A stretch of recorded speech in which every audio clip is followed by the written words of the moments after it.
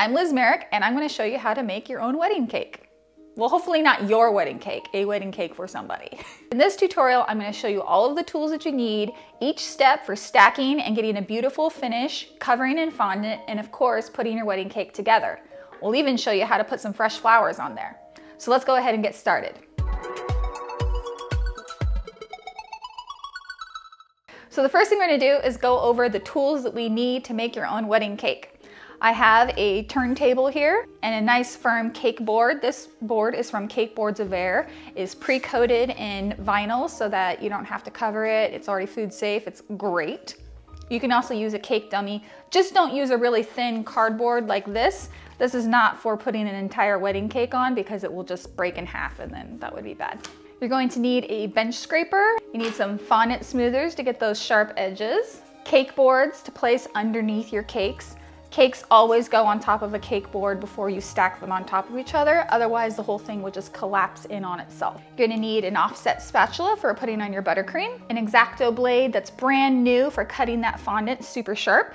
I'm using milkshake straws to stack my wedding cake, but you could use wooden dowels or plastic dowels, whatever you feel comfortable with. But I have stacked wedding cakes up to five tiers with milkshake straws. They're strong. Scissors for cutting your straws. My secret ingredient, a level.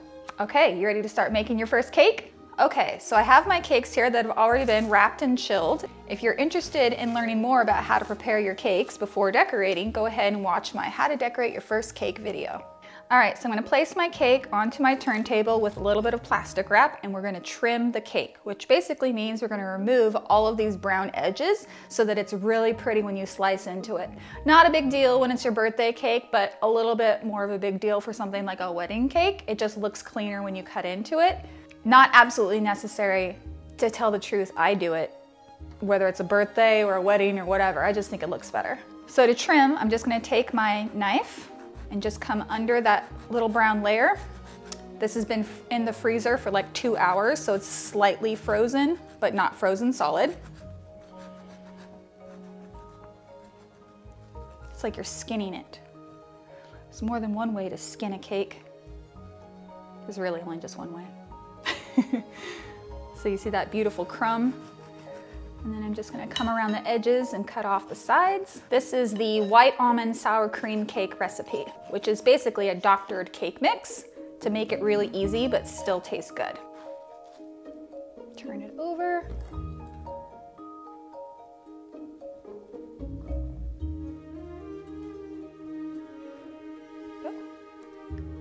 Ooh, pretty cake.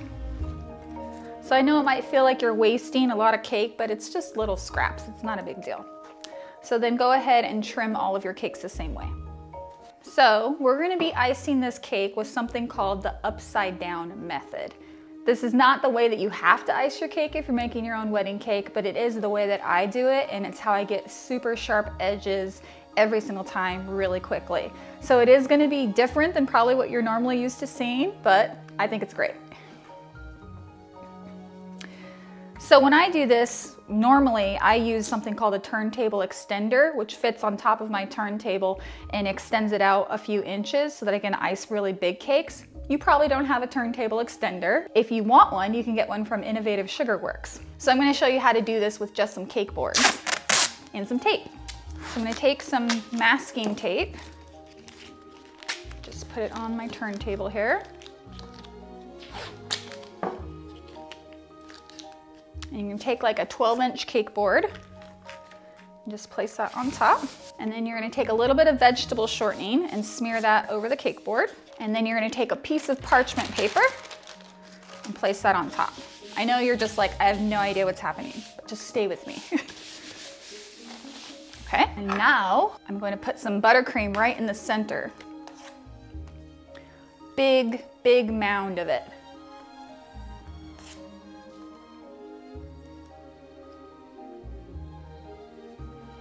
Ideally bigger than whatever size cake you're working with.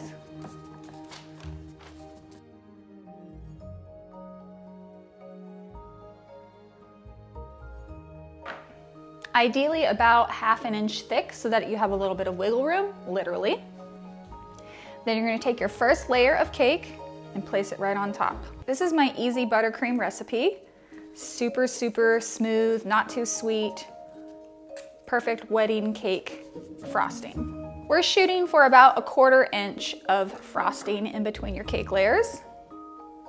Don't skimp on that. You don't wanna put too much though because then you could get bulging. Nobody likes bulging.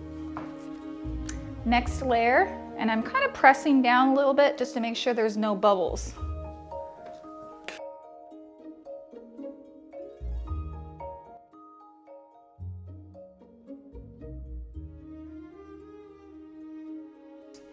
Then put a little bit of buttercream on the very top, which is actually the bottom. take your cake board, place that on top. Make sure it's centered. Should be a little bit of cake board hanging off all the edges. And then we have our secret weapon here, our level. and what you should be able to see is that this is completely straight up and down both, both ways, which it is. So if it wasn't though, you could press on the sides and it smushes down into this layer of frosting that's right here, and then you can make sure it's level. And then once that's level, you can put some big layers of buttercream. Really fill it in.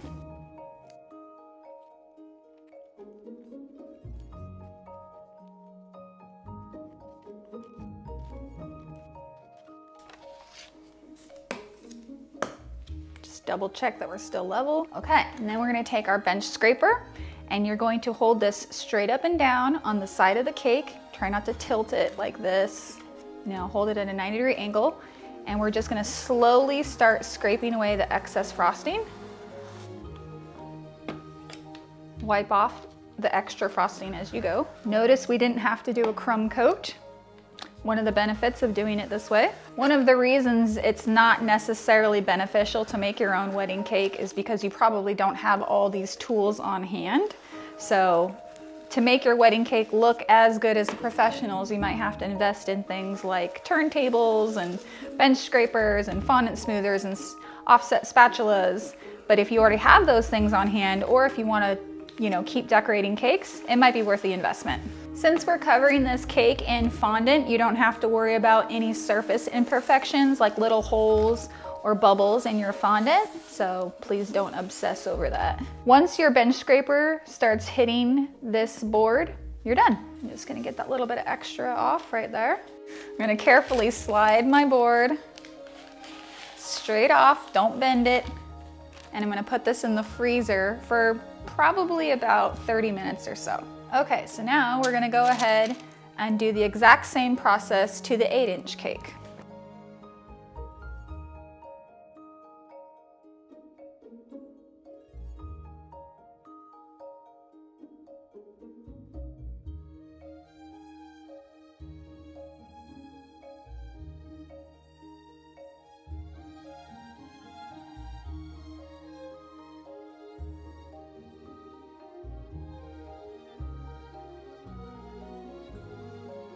I'm just doing a quick crumb coat on this one since it has chocolate in it to seal in those chocolate crumbs.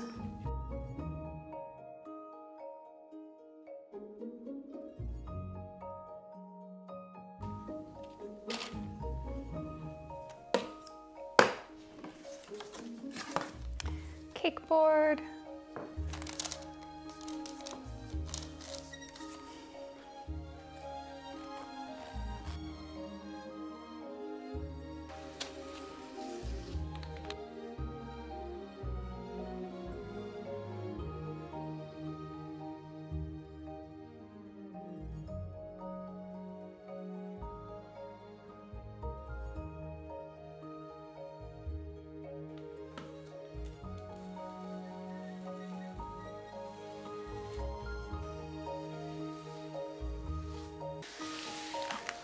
And then place that into the freezer. Okay, so our six inch cake is fresh out of the freezer and we're going to turn our cake right side up. So you put your hand right here. you scared? One, two, three. I promise it's not that scary.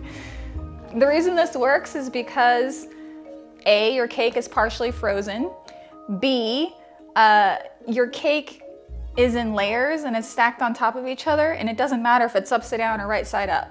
All of the weight and the distribution of weight in buttercream, it's the same both ways. Does that make sense? Okay. So now you just peel off well, that came off together, that's easy. peel off the parchment and you peel off the board. You have an extremely flat and smooth surface. I do have a few little bubbles in here and I'm just gonna fill those in really quickly with some buttercream. See, those are some super sharp, super clean edges ready for fondant. So our eight inch cake has been chilled and just like before, we're gonna remove the cake board and the parchment paper. I'm just gonna fill in a couple of the little holes in the top with some extra buttercream. Look at those sharp edges.